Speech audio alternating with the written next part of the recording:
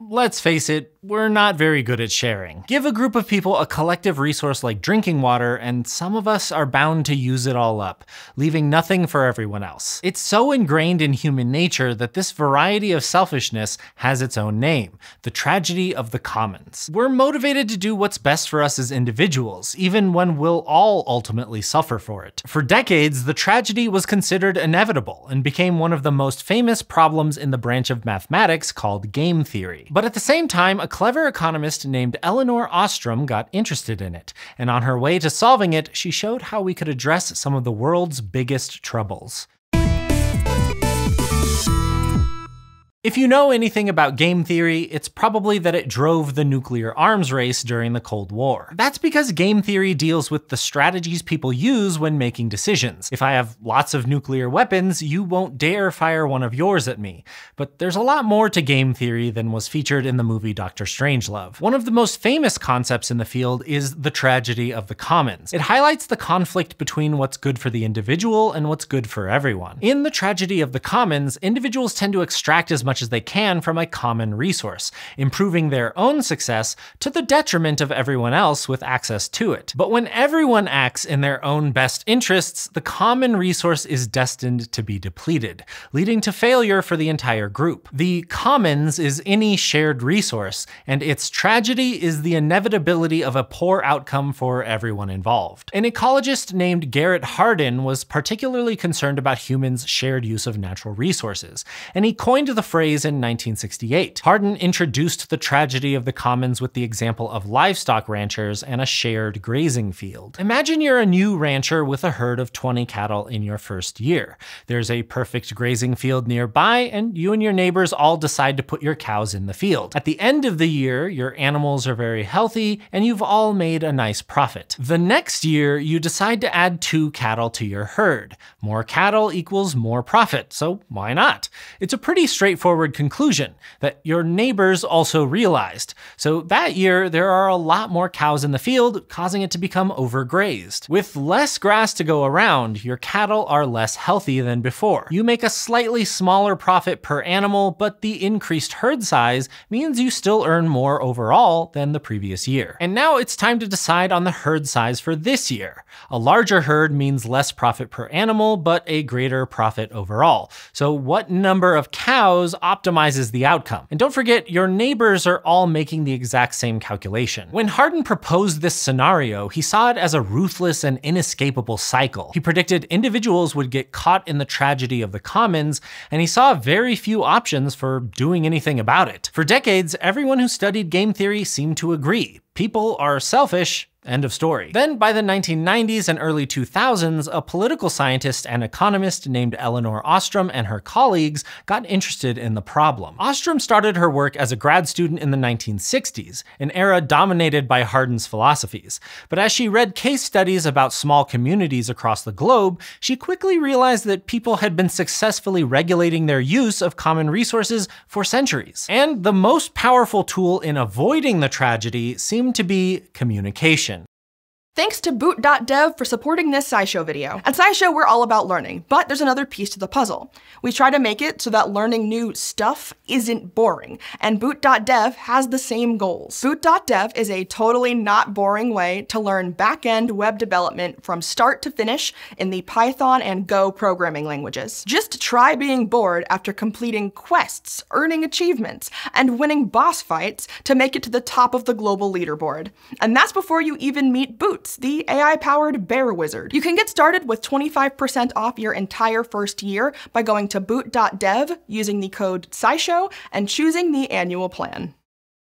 As a grad student, Ostrom started by observing her hometown, Los Angeles. She studied water usage across the city, and if you've never been to LA, it's really dry. It's often hot, and drinking water is an important and limited resource. She was specifically looking at the organizational structures, like committees, usage contracts, and legal action, that the communities used to regulate their own water sources. Ostrom found that when individuals make decisions about how much water to take without talking to each other first, they drew too much water and depleted the resource. When everyone was making independent decisions, over extraction could only be penalized after the damage was done and everyone could see the consequences. But by sharing information and talking about their individual and collective needs from the start, they devised a penalty system that could enforce withdrawal limits before things got dire. Just by meeting face to face, communities were able to regulate the distribution of water, protecting the resource and leading to a better outcome. It seems like such a simple solution that it couldn't possibly work,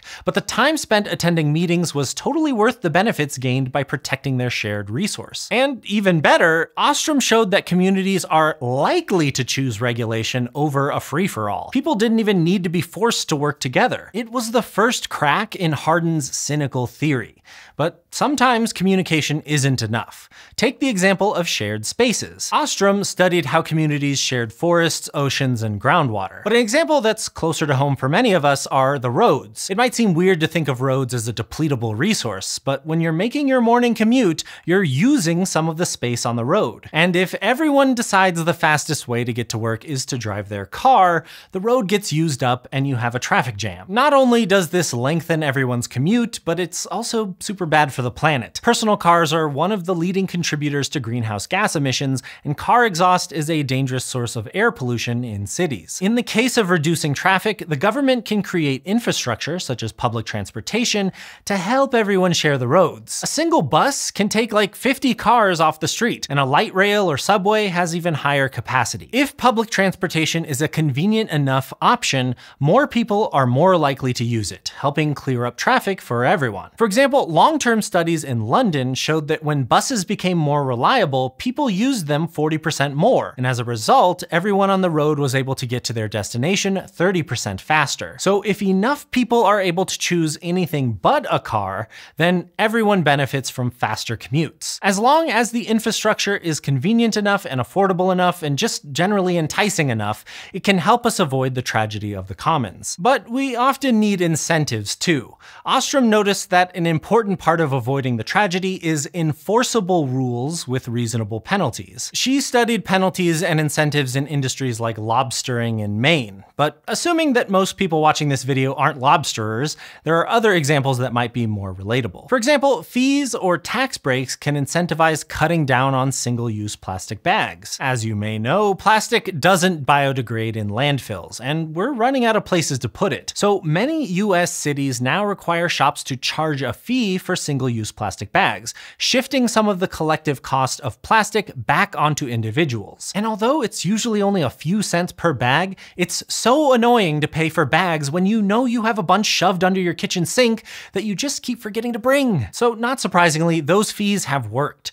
Places that have implemented plastic bag fees like Seattle, Santa Barbara, and Washington DC have cut their use in half. Government organizations across the globe are trying to use carbon taxes to make corporations feel the same way about their emissions that you feel about your grocery bags. And the tragedy of the commons is not just about competition between individuals, but competition between now and the future. Depletion of common resources today threatens our prospects in the next generation. Right now, we're facing the consequences of centuries of over-extraction of everything from water to fossil fuels. But Ostrom showed we can still avoid the most tragic outcomes through communication and self-governance. For that work, she received the Nobel Prize in Economics in 2009. There's no single strategy that will help us manage every type of common resource, but the tragedy of the commons is not inevitable. We can use our resources sustainably when we decide on strategies together.